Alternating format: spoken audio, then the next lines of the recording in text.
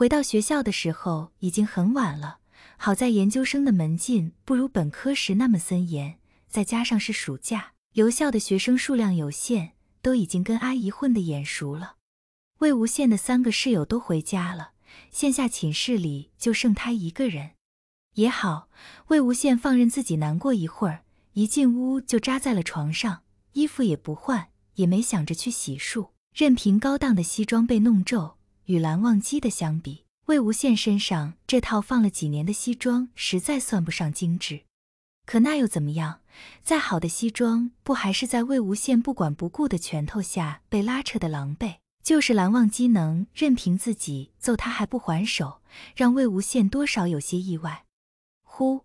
魏无羡猛地从床上坐起，不知是动作太快，还是回来一路蹬得太快。又或者是没走心的烟猛吸起来就是很难受，这会儿生出了阵阵恶心。蓝忘机离开的这五年时间里，魏无羡早就把被他养出的矫情劲儿给戒掉了，所以这会儿也没想着用什么办法缓解不适感，反倒是大吃吃的进了洗手间。脱下的西装被胡乱的丢在了一旁，因为走的时候忘记烧水了，所以现加热也来不及了，水温偏凉。也好，魏无羡需要清醒，再加上本就是大夏天的，也不觉得冷。冲了个澡，感觉清爽不少。就是从浴室出来的时候，打了好几个喷嚏。一时间，他又想到了蓝忘机，想到了今晚那个吻。算什么吻？视线扫到了堆在那的西装，这种衣服是不能用宿舍洗衣机随便洗的。再一想到今天遇到蓝忘机，魏无羡就想把这衣服给扔了。可以后上班总是难免要穿西装的，没必要跟钱过不去，更别说他现在已经身无分文了。叹了口气，又把那套西装挂了起来，重新躺在床上。魏无羡不禁开始思考：蓝忘机今天出现在他所实习的集团里是什么身份？不知怎么就想到了同事口中回国的新总裁，于是连忙上网去搜，却发现根本查不到哪位新总裁的名字。而当他查到这个集团姓蓝的时候，整个人都不好了。根据他所查到的那点信息以及同事八卦的内容，其实可以判断出蓝忘机就是那个新总裁的概率很大。退一万步说，就算蓝忘机的确不是新总裁，那他跟这个集团也有着很密切的关系。蓝这个姓氏其实不算多，这么富的就更是少了。刚好蓝忘机今天又出现在年终活动里。这种推断也就不难了。这是导师通过自己的人脉给他的实习机会，带的三届学生里就这么一个名额。魏无羡在这座城市也已经上了两年学了，对于这家集团当然是不止一次听到过的。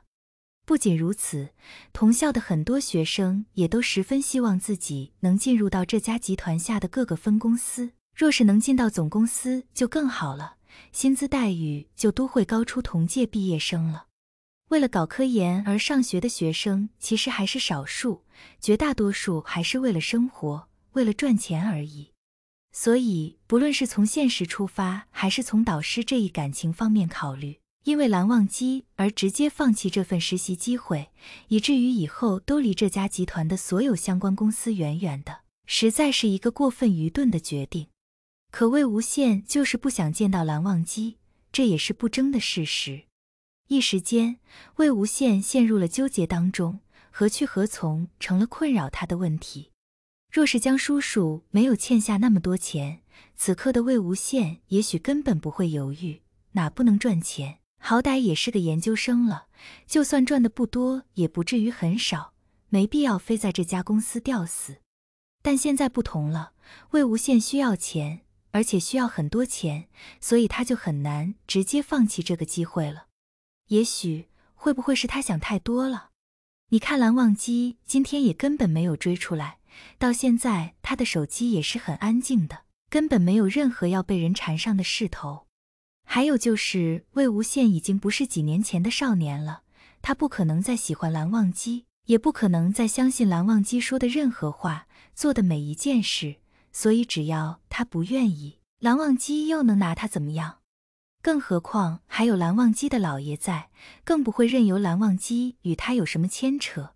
所以，魏无羡可以放心，像今天这么疯狂的事应该不会再发生了。而且五年了，毕竟蓝忘机那样的人根本就没喜欢过他，更不会有任何与深情有关的行为与心理。况且他只是在一个分公司，在看到蓝忘机的可能性就几乎为零了。所以魏无羡更应该把今晚的插曲忘掉，接下来继续好好实习，像之前的计划那样，争取能留下来，毕业后直接转正。这样一想，魏无羡终于能松一口气了。已经很晚了，魏无羡看了一眼时间，好久都没有这么晚还没睡觉了。童仲早就回他消息了，问他怎么样，用不用吃药上医院之类的。都这个时候了。就装作睡着了，明天再回吧。好在明天是休息日，睡到自然醒也算是一种幸福了。周六接到江城的视频电话，根本不意外，睡眼惺忪的嗯了一声：“还睡呢？不像你呀。”一时间，魏无羡忽然一阵心虚，清醒了不少。回笼觉，你这嘴怎么坏了？上火了？魏无羡更心虚了，动了动手机，没。就有点干吧，坏了吧？平时多喝点温水。嗯，知道了。跟你说个好消息，爸妈生意上的事。其实看江城的表现，应该是不知道魏无羡给家里拿钱的事。说是能报警，大概率不用还。呼，我这颗心可终于能舒坦点了。魏无羡装作惊喜的样子说着：“好事，真好，总算是能再次在江城的身上看到精气神了。”你看，钱就是能解决生活中的很多问题，还有一部分问题大概是需要很多很多的钱。周一上班，魏无羡的确有那么一点点的不安。没错，他怕会再见到蓝忘机，好在并没有发生，就是很平常的一个工作日。这样正常的实习生活又过了半个月，魏无羡已经完全不会想蓝忘机会不会突然出现了。甚至想起蓝忘机时，都会忍不住自嘲。果然那天什么都不算，蓝忘机怎么可能对他有任何感情？可这半个月里，魏无羡却不止一次的梦到那晚，每次梦到都会重新将他拉回到那天。蓝忘机说的每一句话，都会在的脑海中循环播放。若是换个男主，魏无羡可能真的会认为说那些话的人是爱而不得的深情。你们这批实习生运气也太好了吧？哪有公司团建能允许所有未毕业的实习生参加的？还可以带家属哦，也免费。话音刚落，大家就忍不住欢呼。的确，刚进公司实习一个来月就赶上团建，着实能让他们放松放松，顺便还能再次感受一下集团的好横。唯一没有加入到实习生狂欢中的人，大概就是魏无羡了。因为这种团建又是集团一起组织的，就像那天的年终活动一样，所以会不会又遇到蓝忘机？